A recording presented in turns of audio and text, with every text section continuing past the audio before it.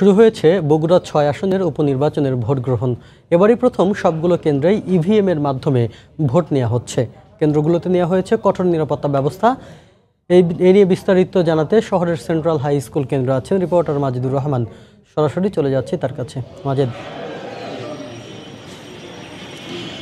বগুড়া ছয় আসনের সংসদ উপনির্বাচনে ভোট গ্রহণ শুরু হয়েছে সকাল নয়টায় এবং এই ভোট গ্রহণ চলবে বিকেল পাঁচটা পর্যন্ত। এবং আমি এখন আছি বগুড়া জেলা স্কুলে। এই জেলা স্কুলে ভোটার সংখ্যা উনিশশো সাতাত্তর জন। এ- পর্যন্ত প্রায় এক ঘন্টায় ভোট পড়েছে শতাধিক। এবং মোট যে ভোট কেন্দ্রগুলো রয়েছে, সে ভোট কেন্দ্রের সংখ্যা একশো একচল্লিশটি এবং বুথের সংখ্যা হলো নয়শো পঁয়ষট্টিটি। এবং সবগুলোই কেন্দ্রে এবং সবগুলো কক্ষে কিন্তু ইভিএমের মাধ্যমে ভোট গ্রহণ এখানে চলছে এবং প্রত্যেকটা ইভিএমে কেন্দ্রে প্রত্যেকটা ইভিএমের পাশাপাশি এক, একটি করে রিজার্ভ ইভিএম রাখা হয়েছে।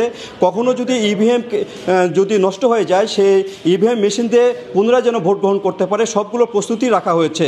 এখানে আপনি জানেন যে এগারোটি ইউনিয়ন এবং একটি পৌরসভা নিয়েই কিন্তু এই বগুড়া ছয় সদর যে সংসদ, এই সংসদটি খালি হয়েছিল বিএনপির মহাসচিব মির্জা ফখরুল ইসলাম আলমগীর শপথ নে- নেওয়ায় এই আসনটি খালি হয়েছিল এবং গত তিরিশে এপ্রিল কিন্তু এই আসনটি খালি হয় এবং আটই মেতে পুনরায় তফসিল ঘোষণা করা হয় এবং সেই ভোটটি এখন চলছে।